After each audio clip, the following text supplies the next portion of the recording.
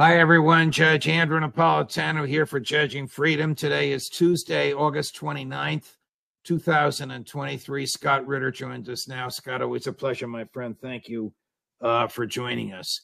You have written a long uh, and interesting uh, analysis of uh, Wagner and Prigozhin and Prigozhin and his relationship to Vladimir Putin uh, and the Kremlin and Wagner and its relationship to uh, the Russian military. Give us your take on the significance of Wagner and give us your take on the death of Yevgeny Prigozhin.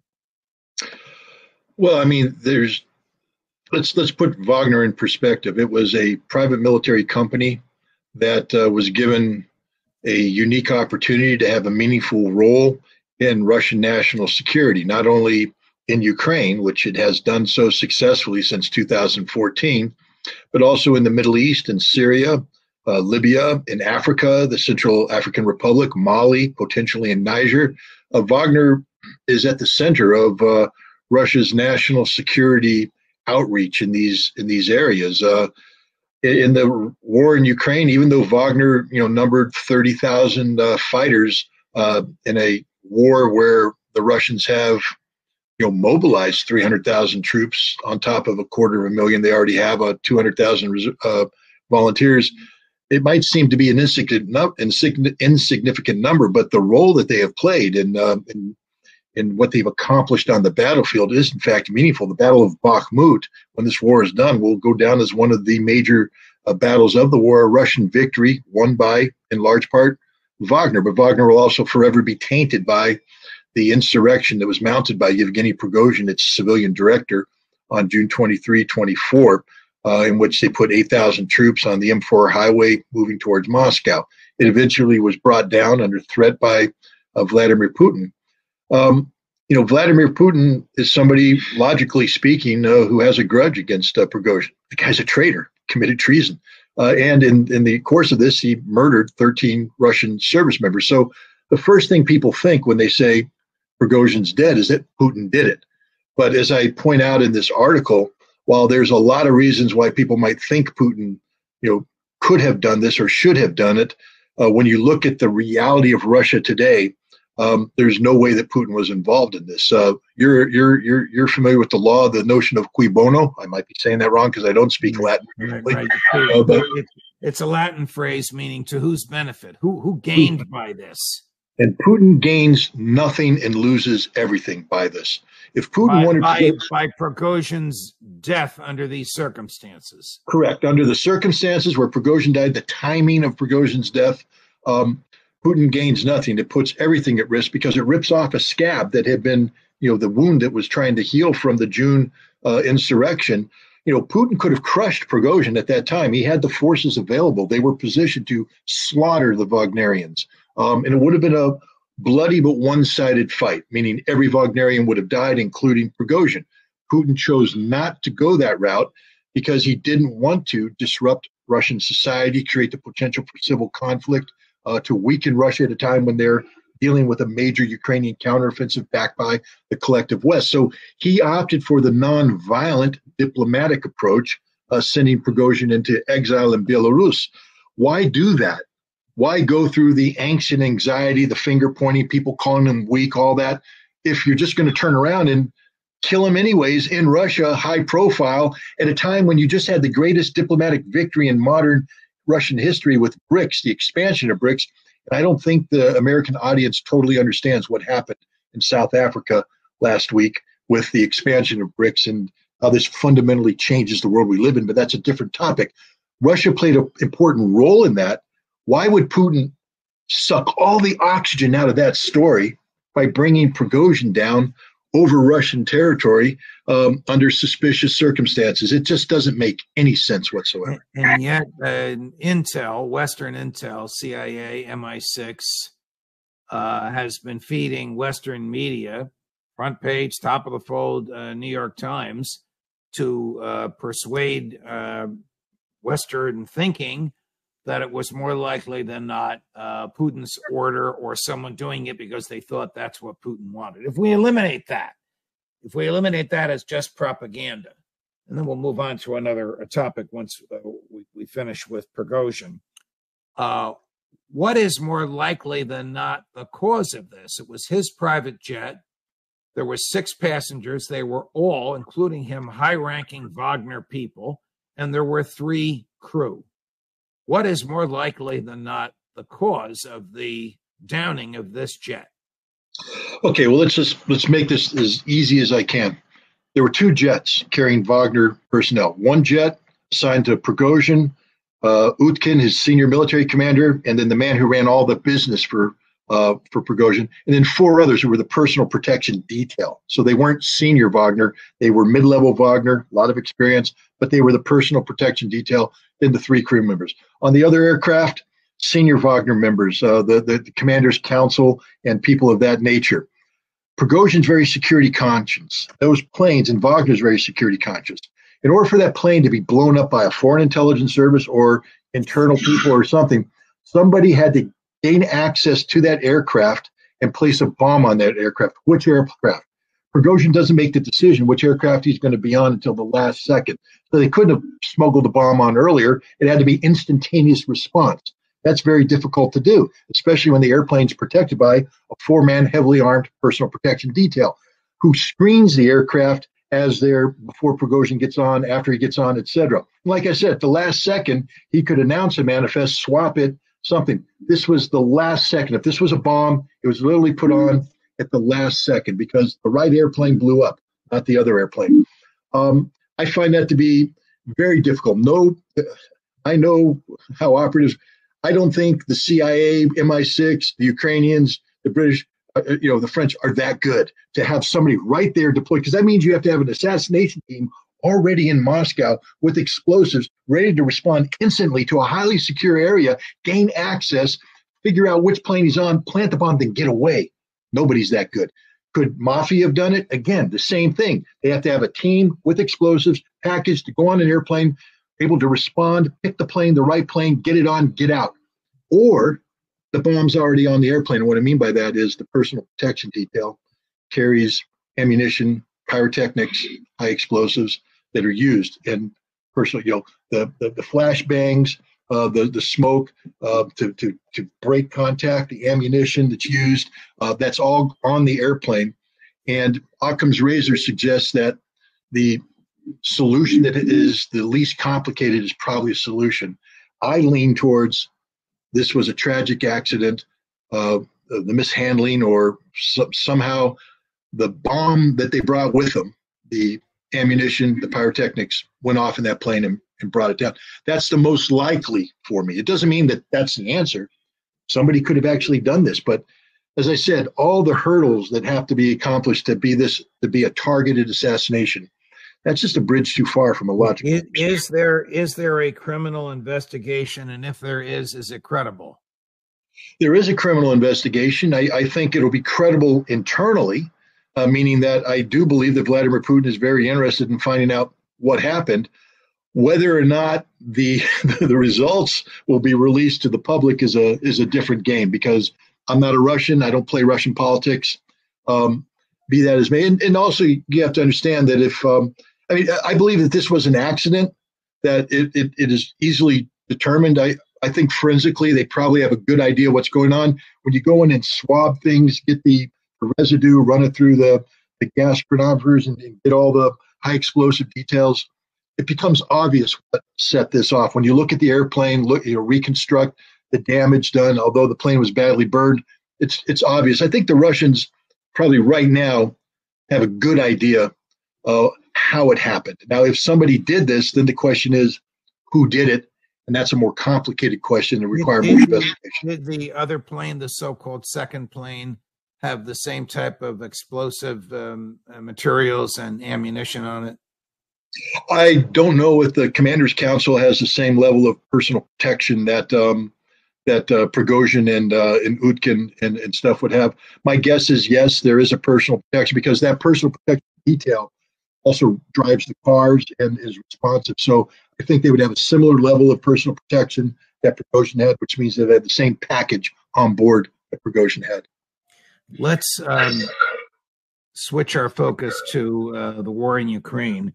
Uh, earlier today, I interviewed uh, Patrick uh, Lancaster, uh, uh, courageous, intellectually honest, utterly fearless American independent journalist who's operating now from um, the Donbass region, who speaks Ukrainian and speaks Russian, Uh, and is really the only uh, Western journalist anywhere around there. Around there, uh, I asked him, and he answered about Western weapons being used to kill Ukrainian civilians in Ukraine.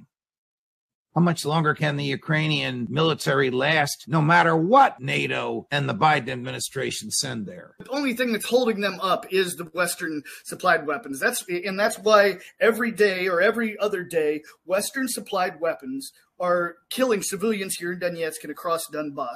This is just going to continue to go on until the West can't supply any more weapons. I don't think the American public understands, Scott. You have been saying this consistently that the Ukrainian government and the Ukrainian military is shelling its own people in Ukraine and killing them, civilians and children. And Patrick Lancaster witnessed that with his own eyes, and you heard what and saw what he just said. Uh, two things. One, this has been ongoing since um, April of 2014, when the Ukrainian government designated the uh, Donbass as a uh, anti-terrorist operation, and all of the ethnic Russians who were opposing the Ukrainian Nazis, Ukrainian nationals, as terrorists. So they have given a green light to strike the civilian populations because they're considered to be terrorist populations. Two, look at Patrick Lancaster. Look at the emotion there. Understand where this emotion is coming from. This is a man who sees on a daily basis dead children, dead women, dead elderly people, innocent civilians doing their life, going about their life, are slaughtered on a daily basis by Ukrainian artillery, our artillery shells. They're firing our cluster munitions, our high explosives that we gave them ostensibly to respond to the Russian military. They're deliberately targeting civilian areas because they don't view them as civilians. They view them as terrorists. And they're doing this on a daily basis with our weapons, and he sees it. You can see the pain in his eyes. Look at his face. This is a deeply emotional man. He wears his heart on his sleeve as he has every right to. But there's going to be some people who look at that and say, well, he's a little unhinged. You would be too if you saw on a daily basis what Patrick Lancaster sees. He doesn't just report the war, man versus man on the battlefield. He reports uncovered war, the reality that the Ukrainian military has since 2014 been waging a war against the civilians of the Donbass because they're not considered civilians in the eyes of the Ukrainian government. They're considered terrorists. Here's uh, what he had to say about uh, Western media lying. Do you see any reporters from the Western media, mainstream or not, out there at the front lines with you? There's not any mainstream, or much, I should say, mainstream media. But as far as independent journalists, there are some here. There's a woman from uh, France and a man from Italy. And there's a few people here on the ground doing their best, trying to show the truth of what, what the people in the West just aren't seeing and are being lied to about. What the people in the West uh, are being lied to about. I mean, when I asked Patrick uh, Lancaster how people can watch him, nobody in the West uh, is really uh, covering uh, what he's saying. The Ukrainian uh, military and government wants to suppress what he's saying. Ukrainians email him on a regular basis to pick fights with what he says. Sometimes he answers them sometimes he ignores them. I'm sure you're not surprised at any of that. No, let's let, remember people will automatically attack him because they're going to say, look, Patrick is operating in the Donbass, that's Russian controlled territory, and clearly he must be a Russian propagandist because two plus two equals four in their in their their their mind.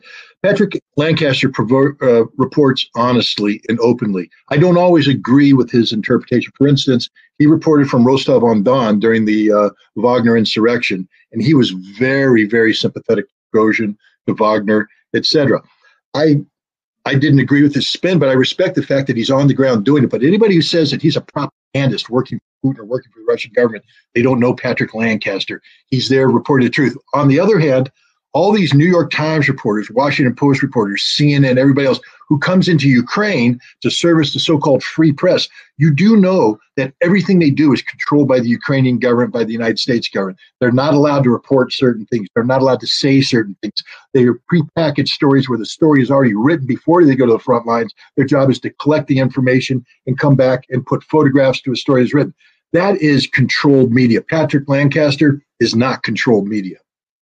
Uh, General um, Milley, as you know, is uh, about to retire. I think his last day on the job may be this uh, Thursday, and he's been doing a lot of uh, interviews uh, with media establishments all over the world. In a, an interview with an Arab media establishment, though the interview uh, was in English, he actually defied what you and Patrick Lancaster and Larry Johnson and others, Matthew Hoh, have told us about whether or not the Ukrainians have breached the first of the three uh, rings of defenses that Russia has built. So we're going to play two tapes for you. First, General Milley saying the Ukrainians have breached the first ring, and then Patrick Lancaster, who's physically there, responding in very, very harsh Scott Ritter like terminology.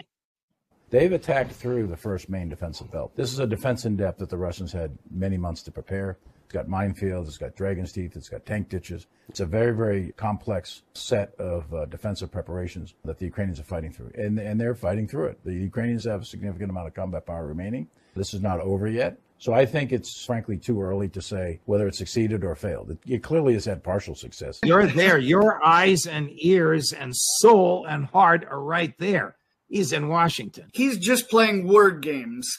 I mean, he's covering his, you know what, by just saying, oh, yeah, they've gone through the first line. Now, if you actually confront him about it and say, no, they're nowhere anywhere close to going through the real line, well, he'll say, well, look at this one little spot where they took 100 meters farther, or say 500 meters maybe took one village here and there when over here Russia took three. It's just word games saying, okay, in one spot maybe there is a little bit of uh, forward action, but no considerable movement as far as the front line goes. It's, it's just playing word games to confuse people and to try to lead people into a certain way of showing them that their tax dollars aren't going to waste and their tax dollars aren't only killing civilians. Boy, you talk about emotion uh, and passion, uh, Scott, uh, confronting the senior American military uh, official and accusing him of word games was uh, profound. But the bottom line remains you can address this better than I. There is zero evidence, zero, to report general to support General Milley's claim that the Russians have uh, approached or breached the first of those Russian, uh, that the Ukrainians have approached or breached the first of those Russian defensive uh, rings? Look, the uh, defense that uh, is laid out by the Russians in the Zaporizhia area where the main fighting is taking place and, and on up is, as General Milley said, in depth. Um, I don't think either General Milley is willfully lying or he doesn't understand uh, the true nature of Russian defense. The first line of defense is not the forward edge of the battle area. The first line of defense is what General Milley alluded to dragon's teeth. These are these concrete obstacles designed to stop uh, vehicles from moving forward. Dig deep anti tank trenches designed to capture tanks. These are is a physical barrier in front of which is minefields. That is the first line of defense.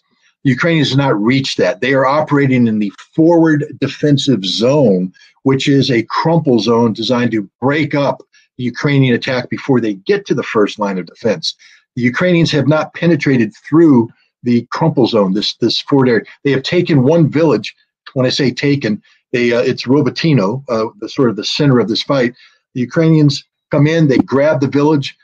The, their vehicles are destroyed. The artillery comes in, crushes their infantry. They're pushed out by a Russian counterattack, and then they come back. The Russians are screening this forward defense area with about 5,000 troops who are confronting a Ukrainian force of around 20 to 30,000 troops. So five, I'm sorry, 500 troops.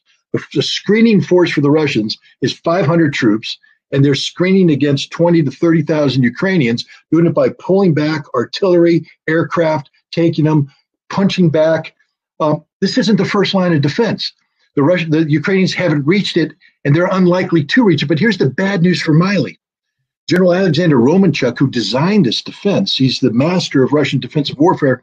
The first line of defense is meant to be broken. I mean, that's what Milley doesn't understand. This is one giant trap for the Ukrainians. They're, they're coming in, getting their forces attrited. When they reach the first line of defense, the Russians will hold them and hold them and hold them as they commit. They commit. And then the Russians will pull back to the second line of defense, bringing the Ukrainians through a designated area in which is a fire cauldron. The hell will come down on them and wipe them off the face of the earth. But that isn't happening because the Ukrainians can't even make it to the first line of defense. But Milley doesn't understand. Reaching the first line of defense and breaking it does not signify a Ukrainian victory. That's part of the Russian defensive strategy. But the Ukrainians aren't even good enough to kick that part in. Two more uh, videos I want to show you. We're saving the best for last. Um, uh, this is General Ben Hodges saying what he said before, but this is very recent. And I don't know where he comes up with this, but we'll let him speak for himself arguing that there is a theory and there's a practical uh, means uh, for Ukraine to remove the Russian military from Crimea. I believe that the operational priority is to cause the Russian forces to leave Crimea. That I think is the most important thing that has to be done. In order to do that, of course, Ukraine needs more long range capabilities that could hit all the airfields and in the seaport of Sevastopol, for example. But that also means they've got to get closer to the land bridge. So uh, more progress that would enable them to bring up more HIMARS, for example, that could reach the road between Mariupol and Melitopol and Crimea to stop the logistics movement there. I think these are the kind of things that they're going to continue to do I don't know exactly where the best place is, but the general staff knows where the best place or places will be to do that. When he says general staff, does he mean American or NATO? Is he suggesting that the West is preparing to do the impossible, help Ukraine invade Crimea? No, I think he was implying that the Ukrainian general staff, together with the assistance of NATO and the United States, knows the best place. But hey, uh, pro tip, General Hodges, we're looking at it, dude. The best place we know. It's been broadcast. Let me give you a hint. The battle for Robotyno. You pierce the first line of defense. You reach the second line of defense outside of the city of Tokmak. Um, you pierce that, then you move to the third line of defense, which is the city of Melitopol. You have to pierce that before you can do what you say broaden the breach, bring in the HIMARS, bring fire down on the road that connects Crimea with the west of Russia. Uh, that's the plan, General. That's what they're trying to execute. It was supposed to breach the first line of defense back in June when the initial brigades approached Robotyno, but they were all killed, General. They didn't even get to Robotyno. Since then, they've been trying to get through Robotyno. Right now, the strategic reserves of Ukraine have been committed to the Robotyno battle. The Robotyno battle, not the Tokmak battle, not the Mariupol battle. You can sit there and have all the fantasies you want, General, but the reality is Ukraine isn't close to accomplishing what you say they need to accomplish to achieve the outcome you say they want to achieve. They're dying in Robotyno. Robotyno is the alpha and the omega of the Ukrainian counteroffensive. It began here, it will finish here, the same result. Dead Ukrainian soldiers, destroyed Ukrainian equipment, and an intact first Russian line of defense. Speaking of dead Ukrainian soldiers, and before I get to the uh, uh, the tape that I have to apologize to your cardiologist for showing you, um, General or Colonel Colonel Macgregor uh, reports that the Ukrainian operator of something called Kyivstar, uh, which launched a charity event, send a message with the word "thank you" to the number of fallen soldiers, inadvertently released the number of Ukrainian killed Ukrainian Ukrainian soldiers killed in action. 400,000. That number is very, very close to what you and Macgregor have predicting uh, it would be, and the Western media hasn't come anywhere near that. I'm comfortable with uh, with my analysis. I, I, acknowledge that it is analysis. I acknowledge that it's based upon imperfect data. Um, I would even say that the data that Colonel Macgregor is relying upon is um, is in itself inconclusive, but um, it, it just reinforces, it's corroborating. Uh, the fact of the matter is, the the scope and scale of the violence that's taking place in Ukraine today is beyond the imagination of um, just about everybody. The media can't imagine it. Uh, General Hodges can't imagine it. Um, none of these people can imagine it except those who are fighting there and professionals who take the time to walk away from the emotion of the event and just look at it from a probability of kill factor based upon artillery rounds expended, the nature of the terrain, things of this nature. Um, and then you look at the Ukrainian forces committed, uh, and then the nature of the reinforcement, because reinforcement implies that you are also doing replacement. When you put all these factors in, people who've crunched these numbers in real life or have done it as professionals, and I believe Colonel Macgregor is one of those, you you come up with numbers that are fairly close to reality, and that's why I've always been comfortable with my casualty figures. You know, since we started talking, we started with 200,000 and then it grew to 300,000. At the time, of 300,000 people were going, "Oh, you're making that number up," and I'm like, "Nope, right. it's a good number." And now, based upon this current counteroffensive and what's going on, Bakhmut, we're up to 400,000. And if this fighting continues, sadly, we're going to see over a half a million uh, Ukrainian dead before this is over. Here's uh, another uh, retired four star uh, that can't see uh, the forest for the trees because he asks I got to say this with a straight face. When will the Russian military crumble? The big question in my mind, I think, is whether or when the Russians might begin to crack and crumble. They've been in the line for over a year in many cases. Yes, they have actually established very impressive defensive belts, but they don't have the same motivation that Ukrainian soldiers do, who can look over their shoulder and see what it is that they're fighting for. They're very independent, their survival, their citizens. That's not the case for the Russians, many of whom have been conscripted, not volunteers clearly. The question is, when might that moment arrive? And it's very hard to answer, having been in a number of battles where the enemy all of a sudden cracked, but you couldn't predict that until that moment actually happened.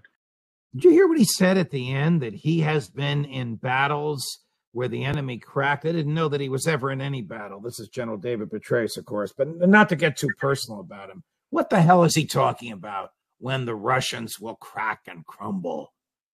Well, you know, there's this uh, the the one of the underlining premises of the current Ukrainian counteroffensives is that they'll be able to replicate what they accomplished last fall. If you remember last fall, uh, the Russians were drastically overextended in the Kharkov area.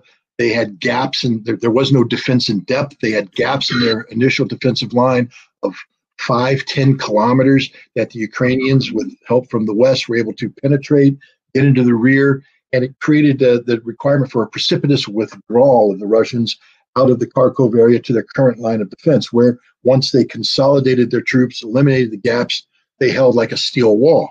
Um, but the the feeling is that you know the Russians broke there, broke and ran. They don't. You know, I think that's a misinterpretation. I don't think the Russians are having a good day, but they didn't break and ran because they, they basically withdrew under pressure to their new defensive lines. But the interpretation was they ran, and so the feeling is that now with these 300,000 mobilized troops, with uh, volunteers, with troops, contract troops that have been there for a long time, that you could replicate the, the breaking and running aspect of it. It hasn't worked. It, look, the best example of why this will never work and why General Petraeus is wrong is in the story of the uh, the, the Russian tank Alyosha. I think a lot of people are familiar with this. There's a video out there that showed this one tank uh, charging into battle, taking on a column of eight Ukrainian vehicles, two tanks, six armored fighting vehicles, and destroying them all. One tank against that. And the way that tank went in, rode up, fired, pulled back, rode up, fired, pulled back. Well, the crew was awarded the uh, the hero of Russia. Vladimir Putin personally gave this to the crew. Let's talk about the composition of the crew and their commander.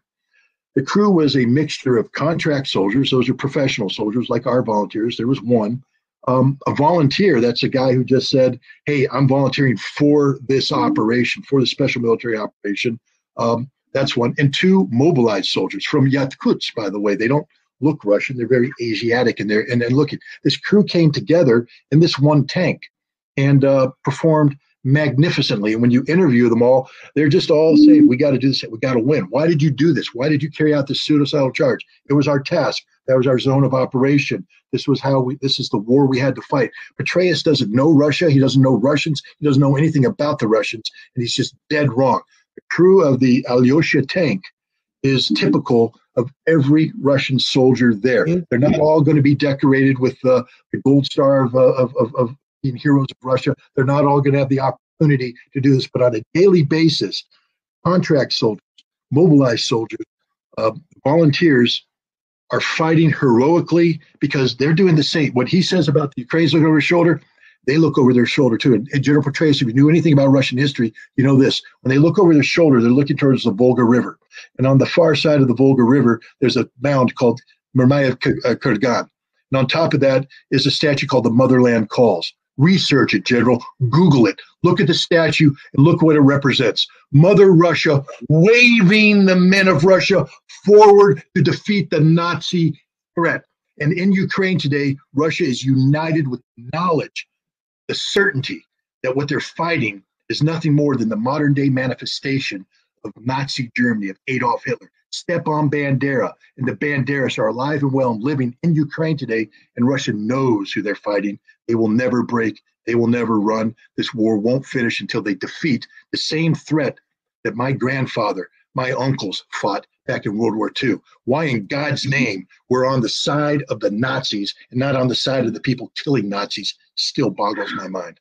I, I was going to ask a few more questions, but I have to end end with that because of the the drama and the and the force of your argument, Scott. Um, thank you very much. Always a pleasure, uh, my dear friend. Have a great coming up in three days holiday weekend. We'll talk to you again soon. Thank you very much.